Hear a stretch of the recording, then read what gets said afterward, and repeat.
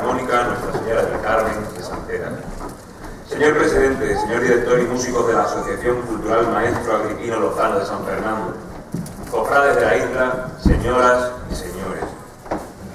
El Papa Emérito Benedicto XVI proclamaba, proclamaba el pasado 16 de octubre de 2012 la apertura del Año de la Fe con motivo del 50 aniversario del Concilio Vaticano II en palabras del Sumo Pontífice, el objetivo de este año es dar un nuevo impulso a la visión de toda la Iglesia, a llevar la vista con Cristo que nos da vida en abundancia y en día. Será un momento de gracia y compromiso a una conversión más completa a Dios para fortalecer nuestra fe en Él y para proclamarle con alegría a la gente de nuestro tiempo. En su carta apostólica Porta Fidei, exhortaba a celebrar este año de manera digna y fecunda. Son innumerables los actos que se están celebrando por este motivo. Celebraciones, conferencias, exposiciones, catequesis, rosario, via lucis, via crucis. En nuestro arciprestado también se han programado actividades para esta conmemoración, como es el caso de este concierto. La inmediata pregunta es, ¿cuál es la relación de la música y la fe? La respuesta, también la da Benedicto XVI en su discurso dirigido a los asistentes del Congreso Scolae Cantorum, organizado por la Asociación Italiana Santa Cecilia. En esta alocución, el Papa recordó que la música sacra puede, sobre todo, promover la fe y también colaborar en la nueva evangelización. Reflexionaba sobre la influencia de la música en el alma en oración, sin olvidar referirse a San Agustín una de las voces más decisivas en esta cuestión, por cuanto había escuchado el canto de los salmos, himnos y liturgias presididas por San Ambrosio. San Agustín, siendo profesor en Milán, buscaba intensamente a Dios a través de la fe. En el libro décimo de las confesiones escribe, cuando me vienen en mente las lágrimas que los cantos de la iglesia me arrancaron a los inicios de mi fe reconquistada, y la conmoción que aún hoy me suscita no solo el canto, sino también las palabras cantadas, si cantadas con una voz clara y con la debida modulación, reconozco de nuevo la gran utilidad de esta práctica. Benedicto XVI apunta que la música sacra es necesaria e integrante, no por razones puramente estéticas, en un sentido superficial, sino porque coopera justamente debido a su belleza, para nutrir y expresar la fe, y por tanto a la gloria de Dios y a la satisfacción de los fieles, que es la finalidad de la música sacra. La música interpretada no es un accesorio o simplemente un adorno de la liturgia, sino la liturgia misma. ¿Cuántas personas fueron tocadas en lo profundo del alma escuchando música sacra? Y más aún, ¿cuántos han sido atraídos nuevamente hacia Dios debido a la belleza de la música litúrgica? En nuestra tierra andaluza donde cada primavera las calles de pueblos y ciudades se vuelven templos, donde una marea de cofrades manifiesta públicamente su fe, donde esa expresión catequética, que son los pasos con los misterios pasionales de nuestro Señor Jesucristo y su Santísima Madre, conmueven al espectador, por la alegría que se quiere expresar y contagiar en las procesiones de las glorias, en las procesiones patronales. También se acompaña de música pero una música específicamente concebida para estos menesteres. Música que junto a las flores, el incienso, la orfebrería, los bordados y todo lo demás, forman un todo que no pasa desapercibido en nuestros sentidos y cuyo objetivo es alcanzar el alma, evangelizar y, renovar nuestra fe. La marcha profesional es el complemento perfecto para el andar de un paso pero también aporta otra dimensión a la contemplación. La música transmite sentimientos. ¿Quién se ha quedado indiferente contemplando un misterio pasional o un paso de palio, con el acompañamiento de soleada de la mano, amarguras, maternea, mectú y tantas otras y tantas otras obras de arte del amplio repertorio profesional? ¿Quién no ha sentido alegría cuando ha visto procesionar a su patrona o a su divina majestad con una marcha triunfal como altar Erei, coronación, reina carmelitana? Está plenamente justificado que en estos actos extraordinarios del año de la fe hay un apartado dedicado a la música sacra y en este caso a la música profesional. Por otra parte, la Asociación Cultural Maestro Agripino Lozano, heredera de la antigua banda de la Cruz Roja de San Fernando, celebra también en este año su cincuentenario fundacional. De todos es conocido que esta banda se fundó a finales de 1962 para acompañar los pasos de Semana Santa. Luego podemos decir que es una banda eminentemente cofrade. Son diversos los actos que esta asociación viene celebrando para conmemorar la efeméride, que comenzaron el pasado 5 de octubre de 2012 y que está a punto de clausurarse.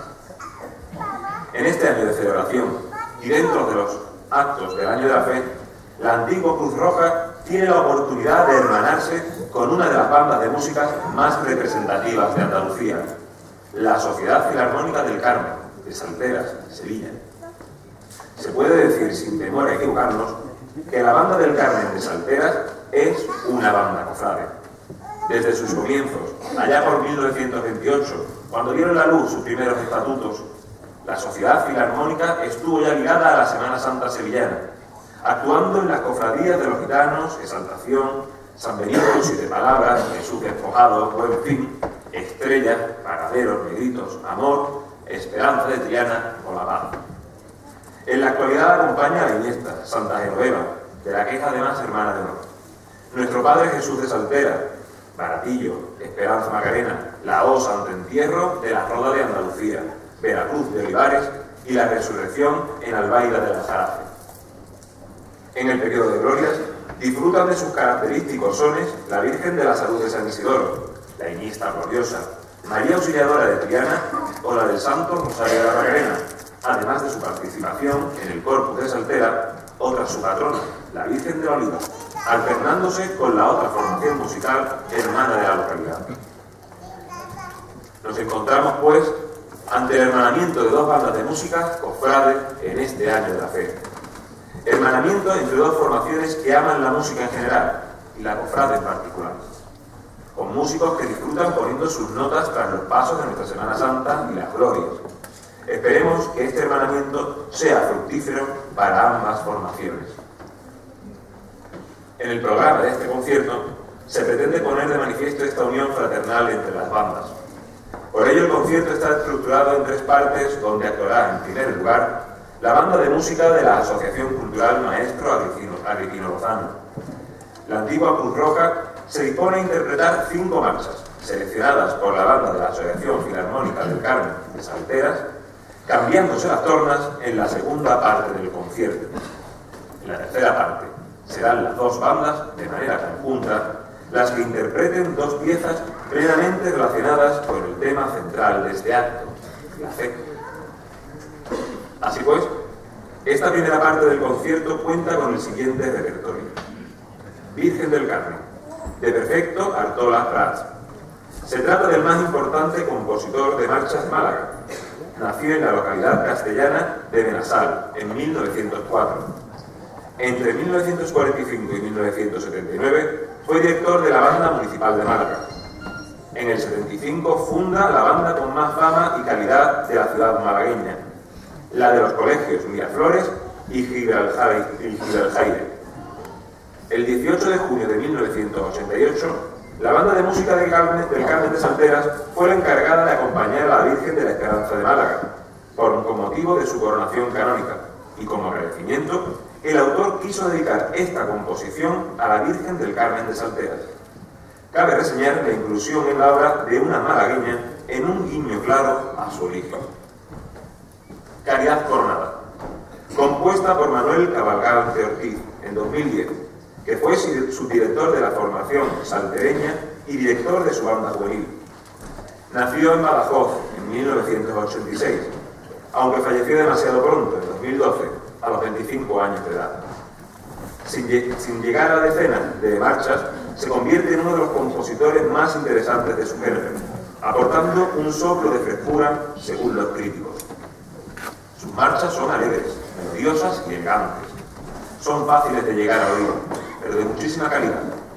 Se da la circunstancia que en el CD grabado con motivo del 50 aniversario de la antigua Cruz Roja para el recuerdo, se incluye la marcha Piedad de Manuel Barrizón, dedicada por su autor a la memoria de este joven músico. El Cachorro, saeta sevillana, es una de las grandes obras de un maestro del género, Pedro Gámez La Serna. Compuesta en 1967, en pleno pontificado de Pablo VI, que fue el Papa responsable de concluir el Vaticano II. Este concilio, concilio vino a abrir la Iglesia y a aproximarla a los fieles, entre otras cosas. Gámez se sirve de un Cristo agonizante y sublime, en su ideal barroco, mezcla de lo humano y lo divino. Teológicamente, el cachorro es en madera el Nuevo Testamento. Un Dios hecho amor, un Dios hecho hombre, pero un Dios que no deja de ser Dios. Gámez reinterpreta en su obra esa lucha entre lo humano y lo divino. Por eso consigue plasmar el espíritu del controvertido Concilio Vaticano II. Lo divino se hace más humano y ya no se da en la espalda, sino se tiende en la mano. Dicen de la Iniesta, marcha dedicada a la memoria de Manuel Cabalgante, por su compañero de banda y de cuerda, Jesús Joaquín Espinosa de los Monteros Pérez. Es un joven músico y compositor, nacido en Estepa en 1989. Tiene ya una década de marchas en su haber, perdón, tiene ya una decena de marchas en su haber, la mayoría de un sobresaliente nivel. Clarinetista en la Sociedad Filarmónica del Carmen de Salteras, sufrió la pérdida de su compañero con el resto de la banda y decidió unir en esta marcha las siguientes dedicatorias. Por un lado, a la Bella, Virgen de la Iniesta, por el otro, a la memoria de su amigo. Estrenada en 2012 en la función principal de la Hermandad de la Iniesta, la marcha no es de un carácter muy alegre, sin embargo, tampoco es fúnebre. Es una marcha hecha con seriedad, con mucha dulzura, con un tema principal muy bello, sencillo y eficaz. Coronación de la Macarena. Otra de las obras cumbres del género, especialmente de las marchas con cornetas. Fue compuesta por uno de los autores que más innovaron el concepto de marcha profesional, Pedro Braña Martínez, en 1964, con motivo de la coronación canónica de la Esperanza Macarena. Teniendo en cuenta que la banda del Carmen de Salteras es la que acompaña desde hace muchos años a la Dolorosa de San Gil, es una marcha imprescindible dentro de su repertorio. Señoras y señores, con ustedes la banda de música de la Asociación Cultural Maestro Agripino Lozano, dirigida por don Raúl Bautista Mafeas.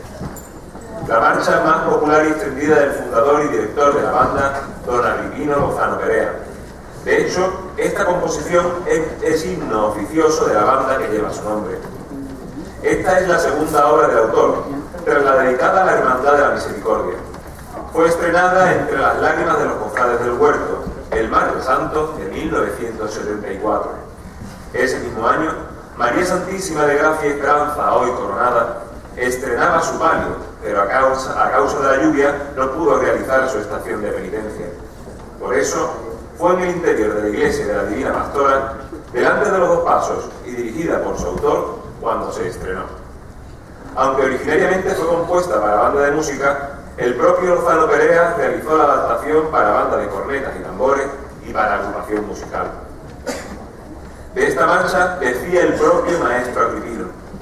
Tiene esta marcha una peculiaridad que quise quedara reflejada, aunque pasara desapercibida. Y es que al igual que las dos hermandades de mis dos primeras marchas eran hermanas de templo y de unión en pujanza y entusiasmo, quise que en sus melodías también reflejaran esa unión y así, en el trío de la oración en el huerto, en el contrapunto, lo inicio, con las tres primeras notas del trío de la marcha Nuestro Padre Jesús de la Misericordia, hermanando yo también en mis composiciones y dando fe de esa unión y amistad vivida a mis dos cofradías más sentidas y más queridas de la isla. Especialmente recordaremos con esta marcha a las víctimas del accidente de Android, todos hermanos y allegados de la cofradía del huerto, y muy especialmente a Ignacio Bustamante Morejón, el cual, tiene mucho que ver con esta composición desde su concepción por el autor. Patrona coronada de la isla, una de las marchas que integran la trilogía que José González García dedicó a la imagen carmelitana en su triple acepción como patrona de la Marina Española, patrona de San Fernando y principal devoción popular de los isleños. Esta es la segunda y la única estrenada hasta el momento. Está dedicada precisamente al patronazgo que dicha efigie, de dicha efigie sobre la ciudad.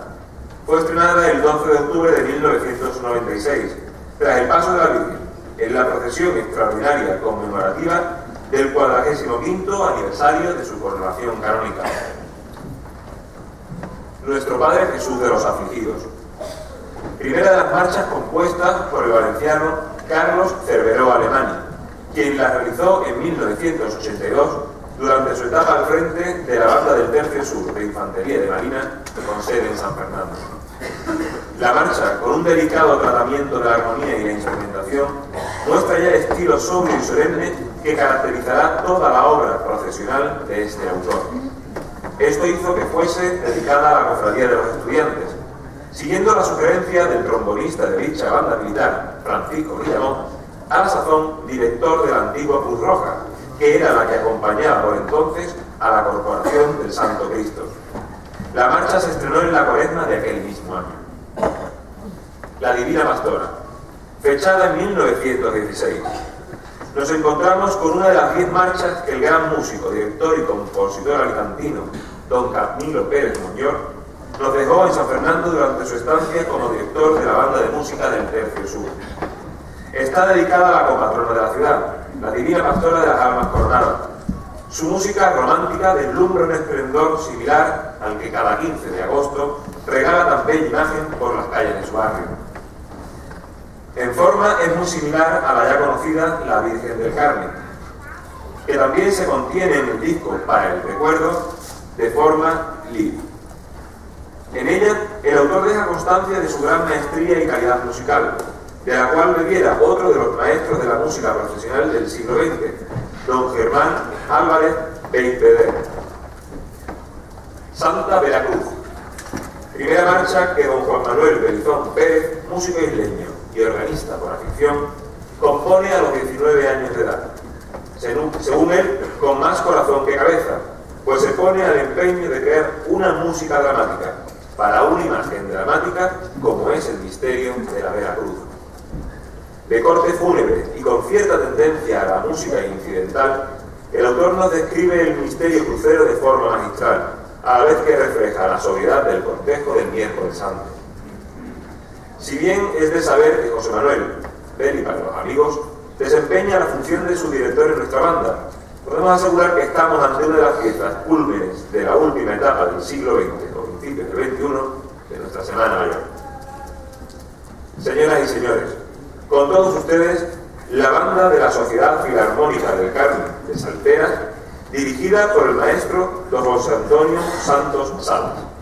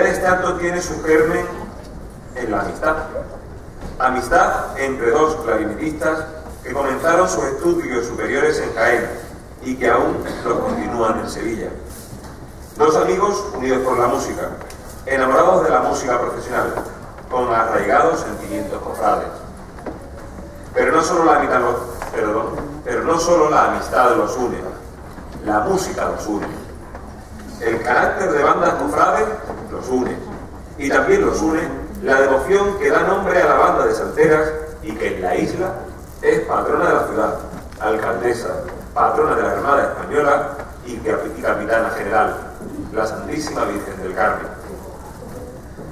Rogamos la presencia a pie de escenario de los señores y de los siguientes señores. El señor presidente de la Sociedad Filarmónica del Carmen de Salteras. El señor presidente de la Asociación Cultural Maestro Agripino Lozano. Señores directores de ambas bandas. Clarinete Jesús Joaquín Espinoso de los Monteros. Clarinete Carlos Guillén.